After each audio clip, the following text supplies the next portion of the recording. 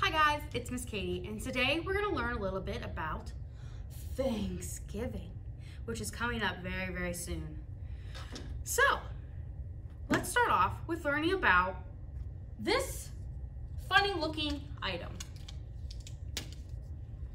Kind of looks like a horn, and it has pumpkins and corn and squash, and it looks like some radishes and some apples. Do you by any chance know what this is called? This is called a cornucopia.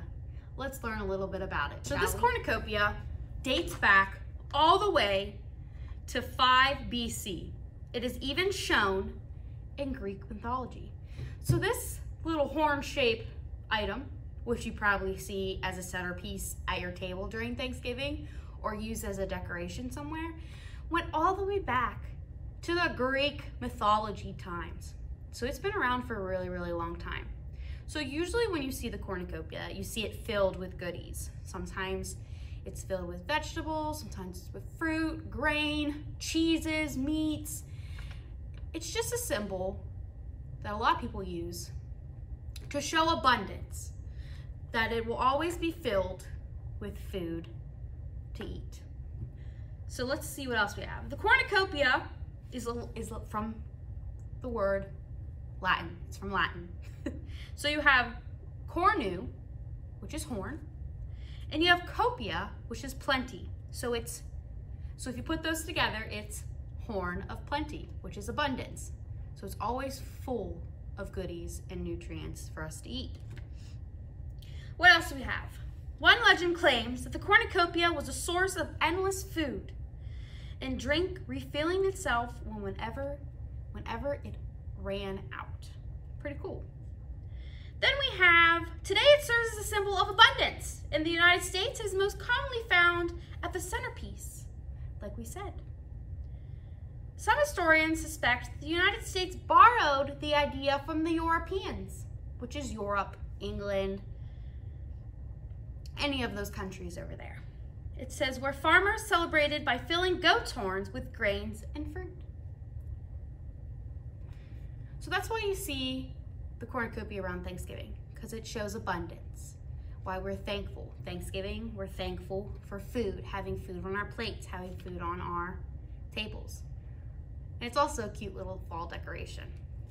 So I'm gonna show you how to make a cornucopia. So the two simple ingredients that you probably have laying around your house are ice cream cones and candy corn. And that's all you need to make your own cornucopia. So, can be any kind of ice cream cone. You kind of want the brown ones that look like with like the crisscross. I call them the waffle cones. They look like this. They're brown, they have like little crisscross. That's what we're looking for. And you can get them at Walmart, the dollar store. So there's that. So this represents our cornucopia. So we have our cornucopia. See? Kind of similar. We'll stick it right on that box. Then you gotta fill it with goodies with abundances. So we got our corn, but in candy form. So we got the traditional candy corn. Then we got some chocolate candy corn. And then we got some pumpkins. And you just gotta fill it. You fill it all the way to the top or till it's overflowing. Lost one. and then there, you have your cute little fall theme of a cornucopia.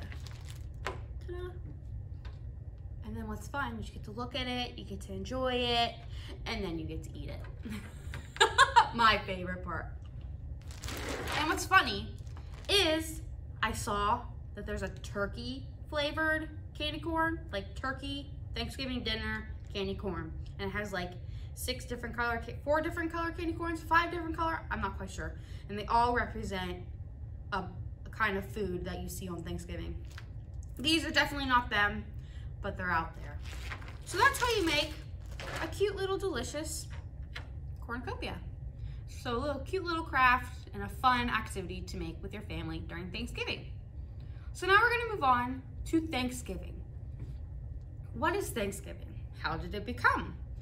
What is the difference from then to now. Let's begin. All right, so let's talk about Thanksgiving. I did some research and I took all my notes that I created from books that I found at the library. And they all have to do with Thanksgiving, the first Thanksgiving, the pilgrims, the Indians. And I also went on the internet and I searched safe websites that I knew had actual information. And that's kind of what a historian does. And we're going to talk about that a little, a little later in the video. A historian. If it wasn't for historians, we wouldn't know what happened in 1621, which was when the first Thanksgiving feast happened. Historians take information and journals and letters and artifacts from that time period and they put it together and they figure out what happened. And you're gonna do that a little later in this video. So first, let's read the notes that I come up with that I found. So Thanksgiving. Facts about Thanksgiving. Pilgrims didn't quite like what was going on in England. So they decided to get on a boat and sail across the ocean. 66 days at sea. They were on this little boat with a whole bunch of them. 66 days. They traveled from England to the new land, which is now the United States. So before the pilgrims got here, there was already Indians, like our Squanto, our Native Americans, our Indians. And they were called the Patuxets, Patuxets was a tribe of the Wampanoag, the people of the dawn. So the, Wampag the Wampanoag was this big tribe of Indians, but they had little branches off to the side. So the Patuxis, Patu, Patuxis, I hope I'm saying that right, was a part of that tribe. And they were the people of the dawn. So these Native Americans were on this land first. But the Pilgrims kind of knew that, but they didn't know exactly where because the United States is pretty big. So they set sail across the ocean in a boat, like we said, to the Newfoundland, the new land, United States. So they set a sail on this little boat. Do you know what this boat is called? The Mayflower. So a whole bunch of pilgrims got into the Mayflower in 66 days. They traveled across the sea. Homes of the Indians were called wetus. So you have teepees, you have, some people lived in the side, I know the, I'm pretty sure it's the Aztecs lived inside of, like on the side of mountains, which I think is really cool. So you got teepees, you got the, the buildings on the side of mountains, but these Indians lived in Watuxis, which are kind of like domed houses that were made out of animal skin or mud and other artifacts, items that they found on the land because Indians lived off the land and they thanked the land for what they provided them. So, Mayflower set sail on September 6, 1620. So it's on, on September 6th, the pilgrims set sail. 102 men, women, children, their furniture, roosters, hens, pigs, two dogs, and nine cats set sail on this little boat. It's not a cruise ship, ladies and gentlemen. This buddy is probably, I don't quite know, but that is something we can look up. So it wasn't very big. It wasn't very spacious. So they arrived at Cape Cod on November 9th. So from September 6th to November 9th, they were on the ocean. On December 11th, my brother's birthday, 1620, they finally settled down on the harbor of, do you know where they settled down? Plymouth Rock. So that's where you get Plymouth. And you can actually go visit that place. They have it all preserved where you can walk down the streets, see how the pilgrims lived and what they did during those times. So, January 2nd, the first common house was built. So they built their house. They're finally settling down. They're creating their land. The pilgrims' clothing, fun fact, were not just black and white, but also yellow, green, blue, purple, and reddish brown. Also, their hats and shoes didn't have buckles. Those were just added down the line in history, just to make it a little bit more fancy. They lived through a very harsh winter, which was pretty hard because they were just building and they arrived in November. So a lot of things are dying. They're getting ready for winter. They're going into hibernation.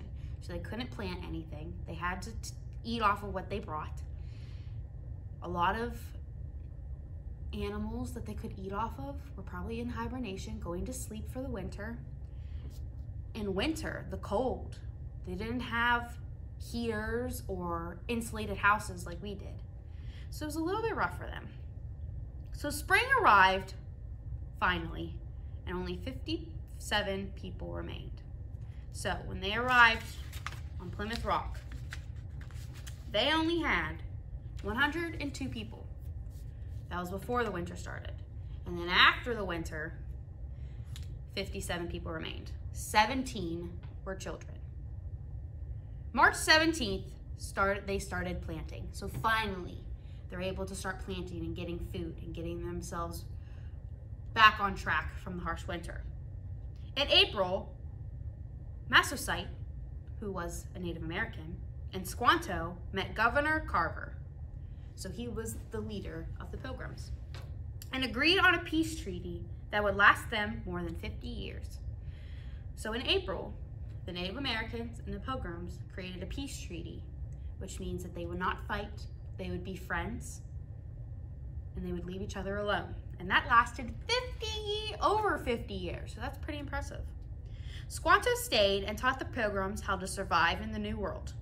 He taught them how to fish, how to grow crops, and how to hunt. So if it wasn't for Squanto, they probably would be a little bit behind on their food and probably might have lost a lot of people, more people. So Squanto was a hero. The harvest of 1621, so the harvest is where they start picking and pulling all of their crops because they're ready to eat, was bountiful, which means they had a whole bunch, more than they ever thought thanks to Squanto. So the new governor, William Bradford, asked Squanto to invite the Massasoit, Massasoit and a few friends to the feast. So 90 guests arrived. So 90 Native Americans came over and they celebrated their bountiful harvest. So the feast lasted three days. Our Thanksgiving feast only lasts one day. Keep that in mind for later. Feast, they feasted, they played games, they shot guns and arrows. It happened almost 400 years ago. So it's 2020. So 2020 back to 1620 400 years ago, the pilgrims set sail to go to blah, blah, blah, Plymouth Rock. So 400 years ago this happened. And then when it's 2021, it'll be 400 years since the harvest, the first Thanksgiving. Isn't that crazy? 400 years ago that happened. We weren't even thought of. We didn't even exist yet. That's crazy. 700, so in the 1700s, this is another fun fact, Benjamin Franklin wanted to make the wild turkey and not the bald eagle the national bird of the United States. So instead of the bald eagle representing the United States, it almost was a turkey. Isn't that cool? So now let's think about, let's compare and contrast and think about what we still do today in our Thanksgiving that they did back then and the difference between the first Thanksgiving, the first feast, and our Thanksgiving today. All right, let's talk about Thanksgiving way back then and Thanksgiving now. So let's think about it first before we put pictures to it. What do we do now that they didn't do back then? Let's think about that on Thanksgiving, Did they have a gigantic parade in New York City with gigantic balloons? This picture right here. Did they do that way back then? No. Do you even know, do you know what this parade is called? That happens on Thanksgiving morning? The Macy's Day Parade. So that's kind of a today or a now kind of event. So when I put it in the then column, so way back then in the past, or would I put it into the present, the now? I would put it into the now because they didn't have parades back then. What else? How long does our Thanksgiving feast last? Does it last three days? No, it lasts one day. But the first Thanksgiving feast lasted three days. So during Thanksgiving, they did, they played, they feasted, they played games, they shot guns and arrows. So on our Thanksgiving, do we shoot guns and arrows? I mean, do we normally shoot guns and arrows? Nope. That was a past thing. We do play games though. We play football. Do you think they played football back then? I don't know. That's a good question of something that we can research more. But I'm pretty sure football wasn't quite their thing at the time. What about, what's the difference between these two pictures? There's a whole lot of people in this picture, right? This is a picture drawn of what people think the first Thanksgiving looks like. And they're all outside and they're all sitting around. And look, there's a cornucopia. I don't know if you can see it. It's right there. So this is what it looked back then. And this is now. We all sit around a nice table with nice silverware and nice food cooked that day with our closest friends and family. So where do you think this would go? Would this would go in the now column, the present, or the Thanksgiving, the first Thanksgiving is in the past. So that would go in the then column. So let's look at this picture again. Our nice family sitting around a nice hot meal in a nice house. So would this be in the past? It would be in the present. So that would go in our now column.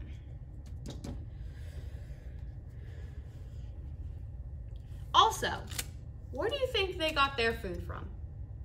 Do you think they went to the grocery store and walked down the aisle and picked up a frozen turkey and canned corn or canned green beans? No, they grew and got their own turkey themselves. So they worked really, really hard. Because their first Thanksgiving was a celebration of all of the accomplishments that they did from that harsh winter. So they were celebrating all of the food they had and all of how thankful they were that they made it this far, thanks to Squanto. So that's why they invited the Indians, the Native Americans, to celebrate their accomplishments with them. So let's look at this bad boy. What was the ship called again? The Mayflower. Do we still do we still sail on boats like this? No, our boats are huge cruise ships that are probably like I'm gonna say five five of these put together, maybe more. And these are made out of wood and our cruise ships are made out of metal, right? So would this go into our now column, our present column? No, it would go in our past column. So that's some fun little facts about Thanksgiving. Now I'm gonna show you a cool website that I came across that has to do with learning and being a historian yourself. All right, guys, so this is where you need to start. You're gonna go to plimoth.org. It's going to take you to this cool website that has a whole bunch of facts and information about the Pilgrims and the Indians that were located at Plymouth. So where we're gonna go is the learning section. It's gonna pull down a drop-down menu and you're gonna go to Plymouth Online, which will pull down another drop-down menu. Then you're gonna go all the way down to You Are the Historian, an online Thanksgiving interactive. And we're gonna click on that because that takes us to our fun activity.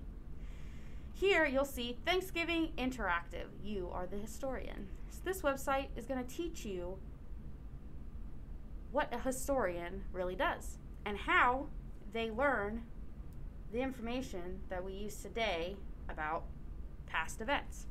So it says, award winning activity. You take on the role of a history detective to investigate what really happened at the famous 1621 celebration.